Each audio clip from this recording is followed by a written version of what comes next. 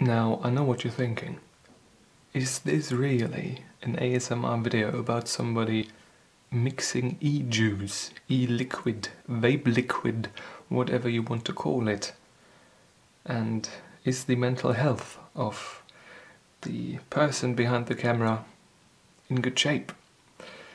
Uh, first question, yes. Second question, you should ask my psychiatrist.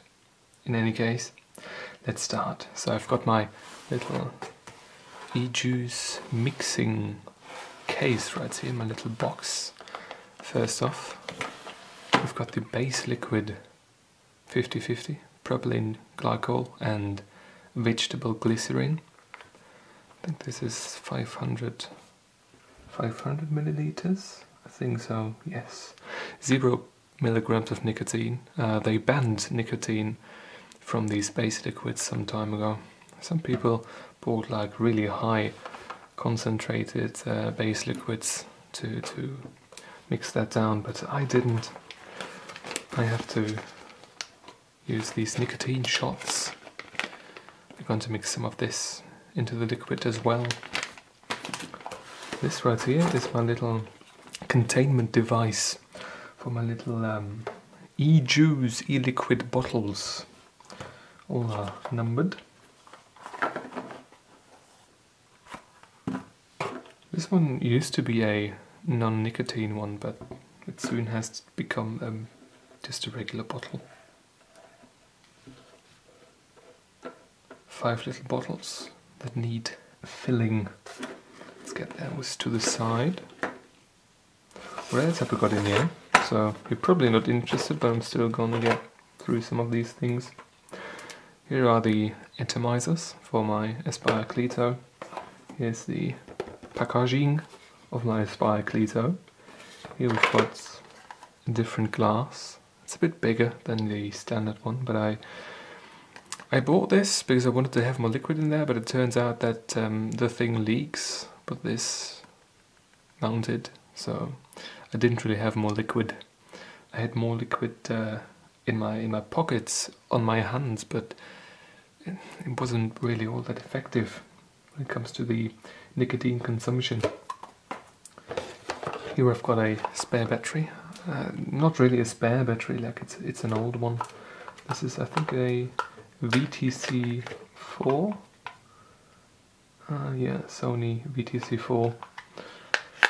Doesn't really hold a charge all too well anymore, but uh, still keep it in here because it's basically special garbage and I haven't had the chance to get rid of this up until now. But the box is nice. Here is uh, one of these little mouthpieces. Here is uh, another one This is a, I think it, what's it called? Like, there's a gorilla on there. Gorilla bottle, I don't know, but it, it's nice. I bought this because I wanted to not mess around with these anymore. But um, oopsie, turns out that um, one time, the first time I actually used it, I uh, squeezed some liquid into my e-cig, into my vape, and this entire tip came right out of there and uh, left a bit of a mess so therefore I am not using this one anymore. Here I've got a syringe, one milliliter, one milliliter. I think it's a one milliliter syringe for insulin. Um, not using this for insulin. You've got another mouthpiece and uh, epitubes. I sometimes, because I always, um, I, I usually have the exact same order from the place that I order my, my liquid from. This, this, and this. And sometimes they give me free samples of um, new new aromas they've got. But um, for quite some time now, actually, just using nicotine shots and regular base and no flavoring, just because um, it, it's a bit pricey sometimes, and it also isn't really all that nice. It, it smells a lot like what's on the box or on the bottle, but it doesn't really taste like that all too much, and it's just annoying. And it's annoying to mix, then you actually have to use a syringe like this. This is a relic of those times. I do not use this anymore. But I keep these little epitubes, I like them. I'm not using them in the lab at the moment, luckily, but um, I'm fairly certain that I will at some point again. But I like those, those are nice. Epitubes are the best. Here I've got a Melo 3. What are they called in English actually? Atomizer, clearomizer, whatever. Uh, it was a nice thing, but um, it's really, really burned out the cords very, very quickly. Sealed this up again. It's okay, this one. So let's get these things out of the way. Get all of that jazz back in. All the good freebie stuff. Syringes, irritine, epitubes. I mean, this one really looks nice, but gets quite hot and um, the mouthpieces, it is quite thin you know, quite the diameter is just a bit too small, and there's a lot of condensation running down it because, um, yeah, this vapor condensates, and when it's cold, it really does, and then everything leaks out the bottom of the bloody vape, and I, I do not like that. This is also one of these relics from the time when I used to mix things with uh, flavors. I uh, do not do that anymore, but I used this to measure some things not really accurately, but I but I did measure things. So we take some toilet paper now. Uh, why do I take toilet paper? Well, it is cheaper than a kitchen towel, and I want to have something to, you know, take up excess vape liquid, excess propylene glycol, and vegetable glycerin. What I do now is when I unscrew these, there's always a bit of bit of juice on top. So wipe that up. And I separate this very needle tip from the thing and uh, set them onto the towel. One is fine, not much on there.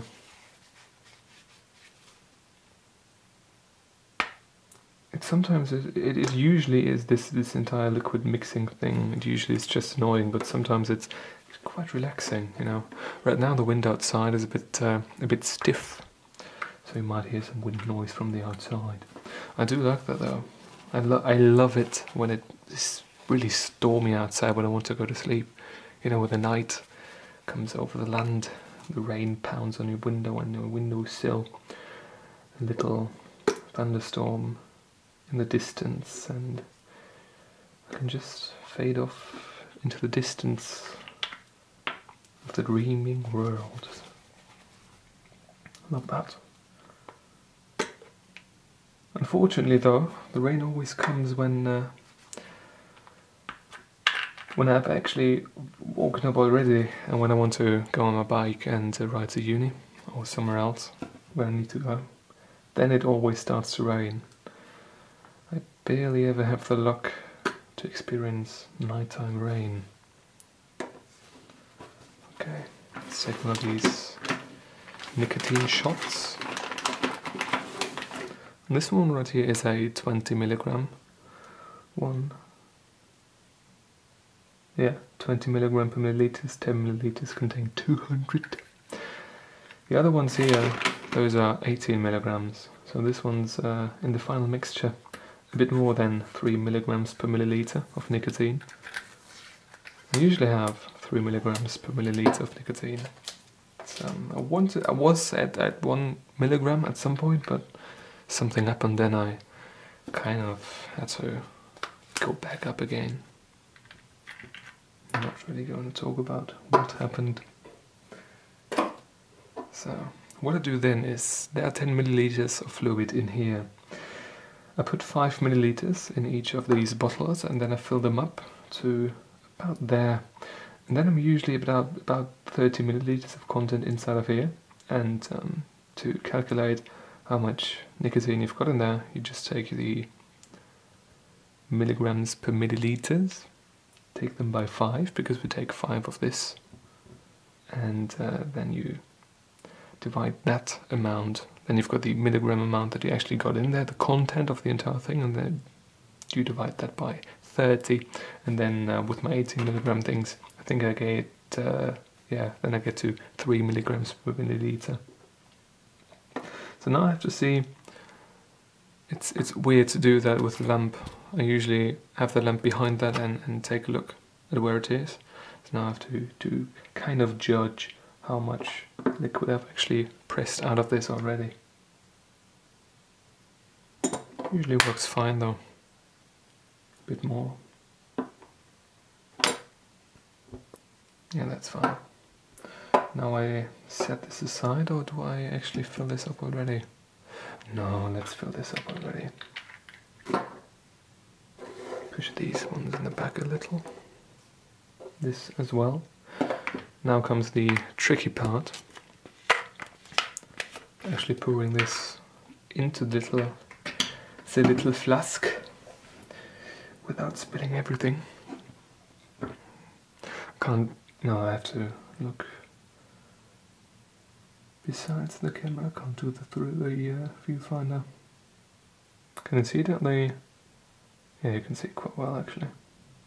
I used to use a, a funnel for this step, but with uh, the 50-50 liquid, you don't really need it.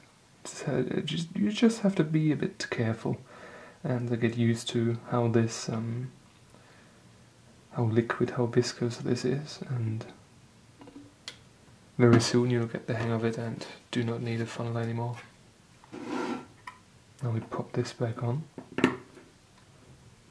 Take another little toilet tissue paper. Wipe this off. And put the cap back on.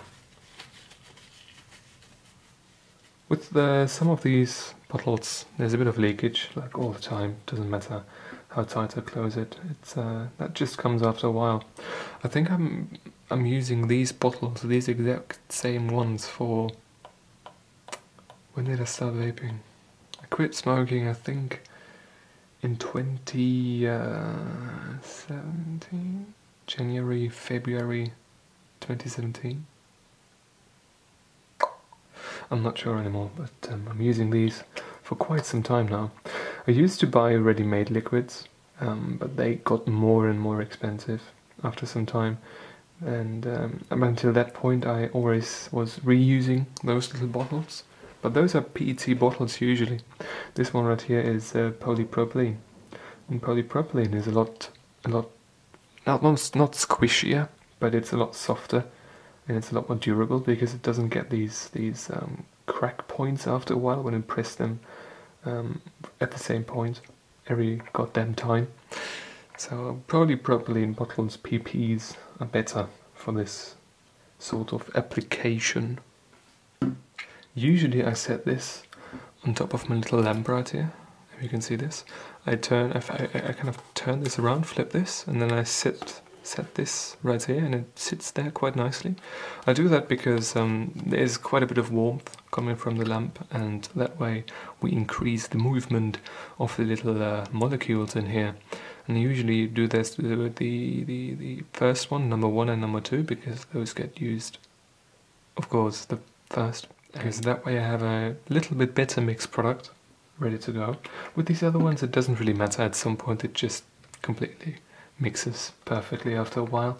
But um, the first few hours, the first day or so, it takes some time to really mix up properly. So uh, you've clicked on this video and you see that there is ASMR typed in the title. That's really what this is. We're going to fill up all of these right now. Sorry. Now we can completely empty this one.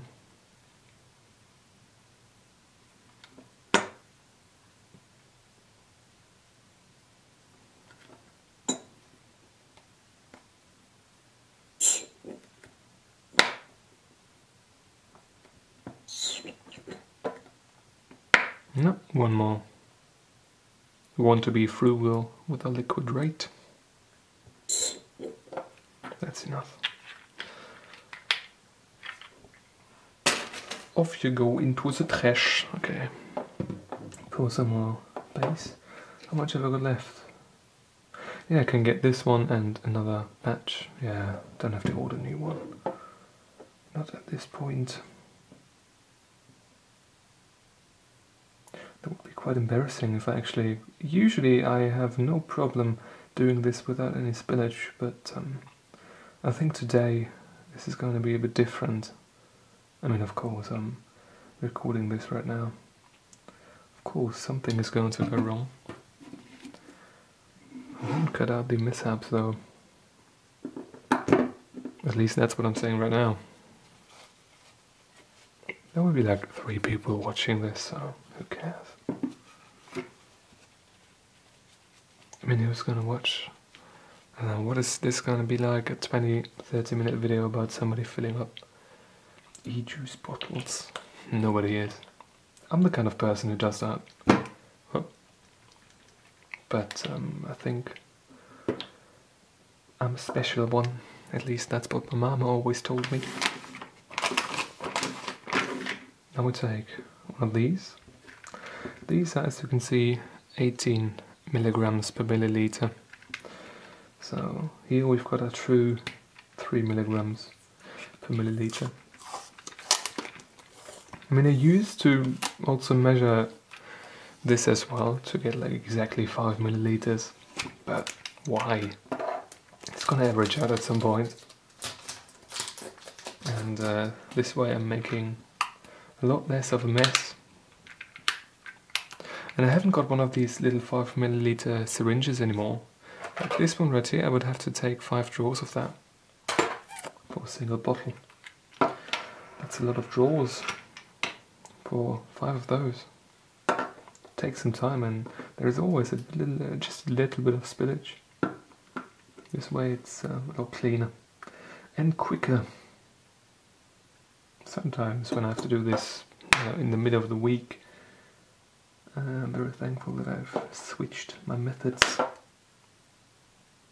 It's fine.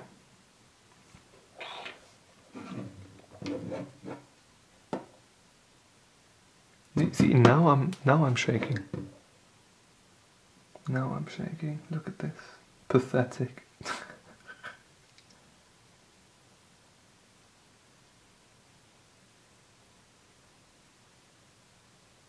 we want to have a we want to have a steady stream of thick juice.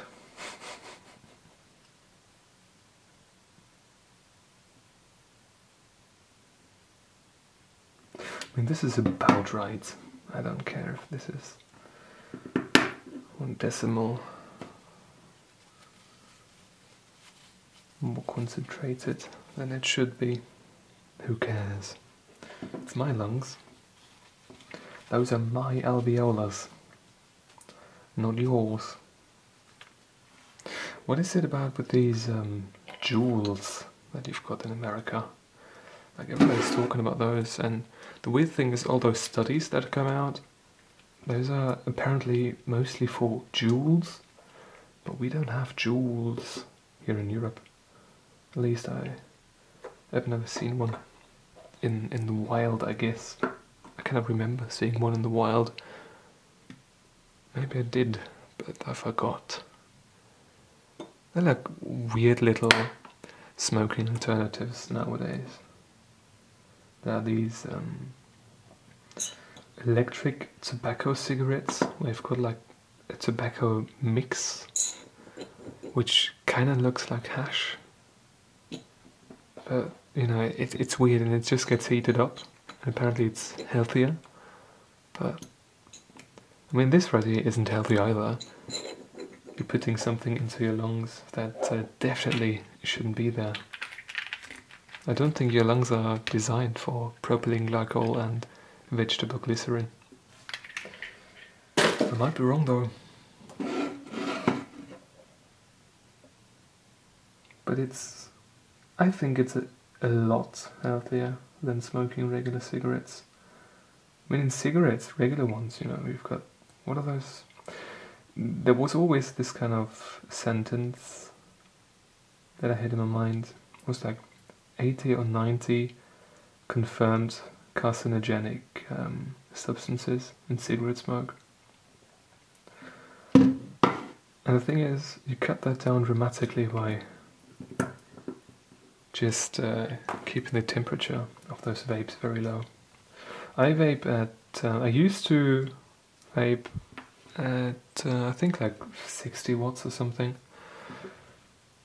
And no, it, it, it doesn't make any sense. I'm gonna show you my vape in, uh, in a minute when I'm finished with the last one. I used to vape at like 60, 65, something like that. Which is uh, within the range of the Aspire Cleito.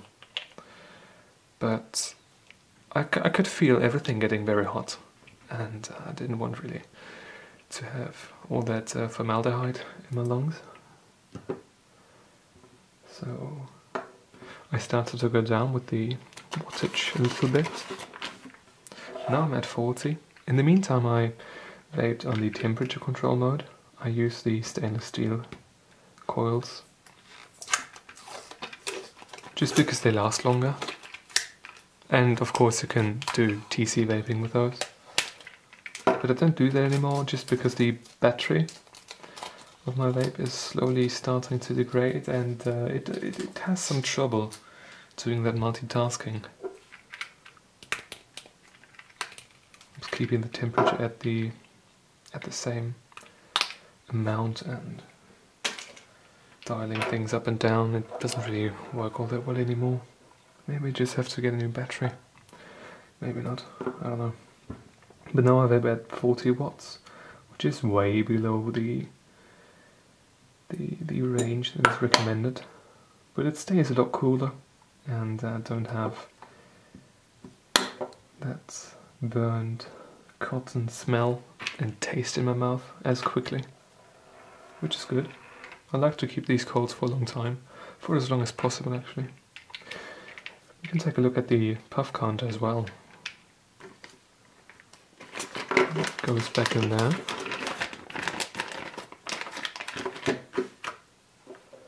I think I'm at 25,000 or something with this coil. I mean a puff sometimes like just to keep the temperature low and get just a little bit of that vapor into my lungs and uh, that way the, the cotton doesn't burn as quickly because there's a little bit of time to get re-soaked. Just a fraction of a second, but apparently it's enough. And the lower temperature also plays into it, of course.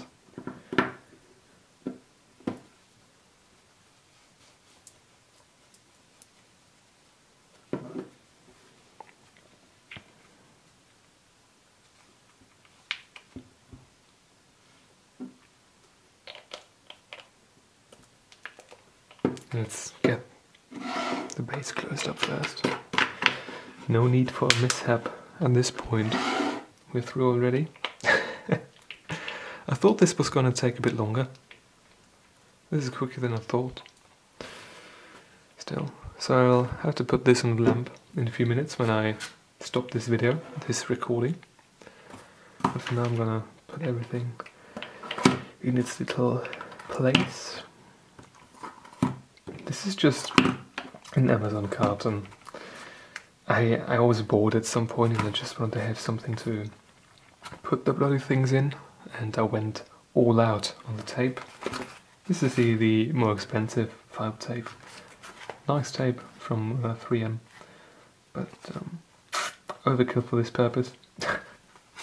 I just just did this I think it was. I think it's nice to have a little space for every one of those. And whenever one is empty, when it's empty, I put it head down first, and then I know when everything is head down, then uh, I have to re-mix, refuel, top up the fuel station. Usually I have one of with one of those with me all the time, and so um, doesn't matter. Doesn't matter. I'll get my my vape real quick. So this is it, the magic stick. It's uh, an Aspire, no, a Joyetech, what is that, Joyetech, I think Joyetech eVic V2 Mini. It's got just one battery in here, this is a VTC6. An Aspire Cleito up here, SS316L, 0.4 ohms. It's good for 55 to 65 watts, so I'm 15 watts below what it's rated for. There's some nicks in there. I'm using this for I think two or three years now. See, this moment here is not from dropping it. I think the, just the paint here is a bit rubbish. So there's some kind of moisture going beneath the paint and bulging that up. The aluminium oxidizes and the paint chips. I'm thinking of because it's just the tip right here. This is from dropping it. I'm tipping over at some point. This as well, but this is very dominant. This kind of splattering on just the tail or back cover. I'm thinking about completely sanding that down and uh, repainting it, or just give it a brushed aluminium or brushed whatever style and put some clear coat on top. Might look nice. Maybe. These magnets right here, they all came out at some point. This one's broken. Is this one broken? No. But this one's broken. Everything, every one of those is uh, super glued back in. so, just to keep in mind when you've got one of those. Because when you slap them on like this, sometimes there's just a bit too much force and they get pulled out of their little holding containment uh, nook. Well, whatever. The bottom is quite nasty. A bit of wear and tear though is not all too bad, I guess. So we want to take a look at the puff counter. I've got it always set to this, just a little hole for the air, not too much. I always wanted to get a mouth, uh, mouth to lung clearomizer, but I in the end never did. I just didn't want to spend another 30, 40 euros to get another one while this is working perfectly fine. I've got this set to the time, 40 watts, 0.43 ohms. It's not really, well it's, um, doesn't matter. Can cycle through, this is the temperature mode, always have it at like 210 to 230 degrees centigrade, degrees Celsius, at 60 watts. Oh, there we go. About 27,000 puffs already. Wrong thing, wrong thing. There's the power setting. I can actually, I can, I can use this one as well, but I just like to have the clock. I do not know what this, what this does. No idea. And uh, no idea either. I just leave it on this because when you go outside for a quick vape, you don't have to take a look at your phone or on your watch. You can just you have this one in the hand already and take a quick glance at the at the old clock. I want to get this one replaced, this gasket, but I cannot really find it anywhere on the internet. You can always uh, only buy the entire thing. And I think there's only this one. I think is not really available anymore. At least I can't see it in any online shops, vape shops. There's only a Cleito Pro or something like that, which is a bit taller and got a different top thing up here. Yeah. Anyways, I think this is it for this little video. Greetings to the two people that actually watched this video up until this point, and um, maybe I'm going to do something like this again at some point. But um, this has been a long time coming, and now it's finally it is finally done, and I'm glad that I did it. And I'm already all set and topped up again. Okay, I'm going to see you soon. Until then. Goodbye.